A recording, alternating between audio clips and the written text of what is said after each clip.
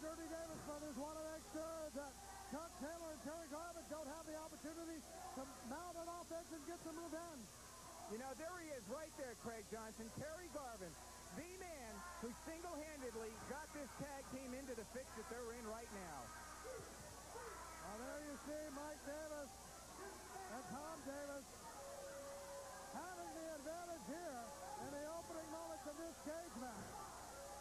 Well, I'll tell you, that Tug Taylor sure got a heck of a body on him, doesn't he, Craig? Now, Tug Taylor ran the same tracks as the Davis brothers for many years until the Davis brothers hurt Tama.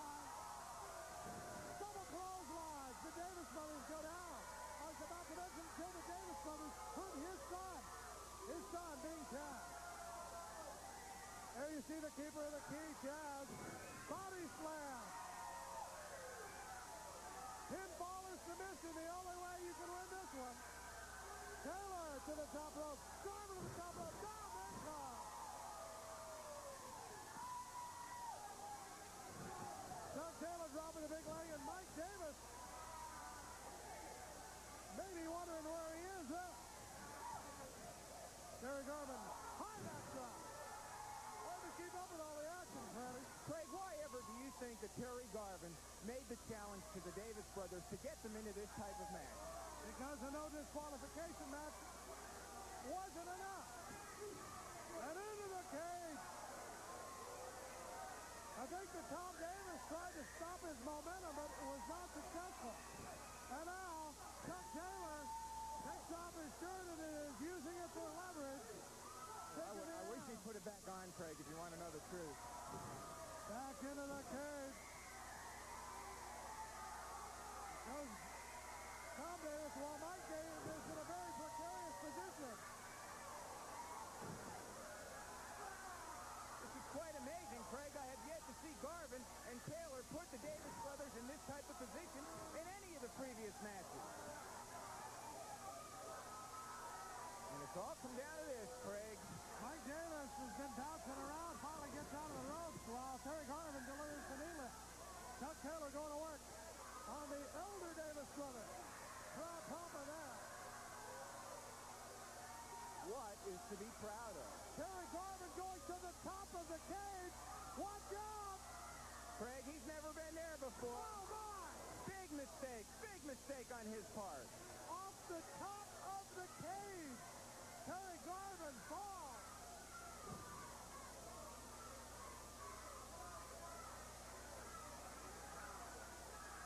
And now the Davis brothers with the advantage.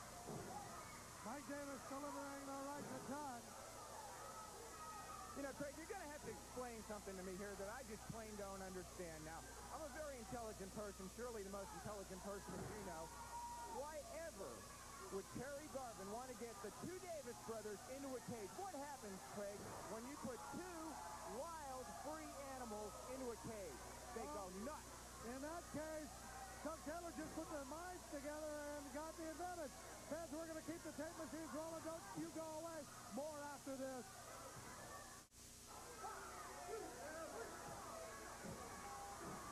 We return to action. The Davis brothers with the advantage here.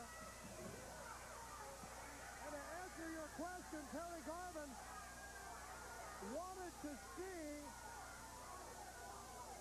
a situation where the Davis brothers couldn't run away. Right now, the Davis brothers getting the opportunity. No wonder the truth wanted me to come out here. I mean, Craig, do you think that nobody at home can see what's actually going on here? Thank God we've only heard little snippets from the truth, but he claims that he's going to be here. If you watch some of our other GWF shows, Stephen the Truth claims he's going to be here. Oh my. Anyway, back to the action in the ring. Terry Garvin gets a shot to the midsection of Tom Davis, while the proud Papa going to work on elder brother Mike. Yeah, now, the keeper it really, it really disturbs me, Craig, when people tear apart Tug Taylor's body. I think he's got a fine body. He's at his perfect weight for nine and a half feet. Tug Taylor is saying that's a lot more than just bulk as he puts all his weight into the boot, into the throat. Meanwhile, Tom Davis gets the advantage in the other matchup. All four men in the ring, and I think Tug Taylor, in his strategy, said, I want to go after the older brother. He was the one that started causing all this, and now double teaming on Tug Taylor. Craig, how can you do this to this team?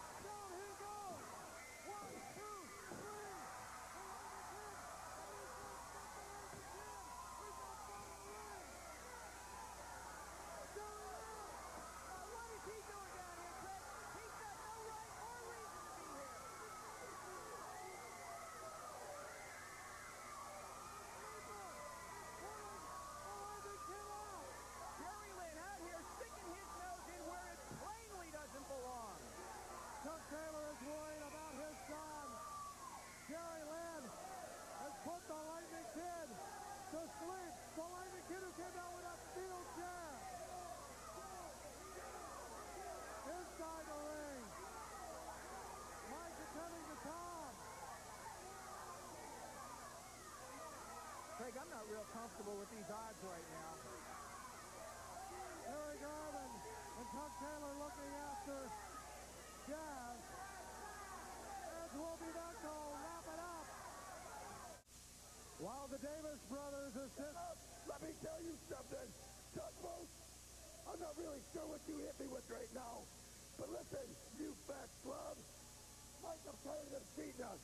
Hey, we didn't have to use a chain, did we, fat boy? No, we didn't have to use a chain. We told you before. David, you're going down. Chaz, you're probably out again. We're a hell of a lot smarter than we look. And let me tell you something else. Fat boy, I don't care what it takes, what we have to do. But sure, fat practice is ours. Nothing else to be said. You guys got to cheat to beat us. You can't win. So you got to cheat. The Dirty Davis brothers quite upset. But the winners of the match indeed, Tug Taylor and Terry Garvin. We'll check on Chaz. We'll bring you a report next week here on the GWF. For even flamboyant Freddie Fargo, I'm Craig Johnson. See you next time here in the GWF. So long, everybody.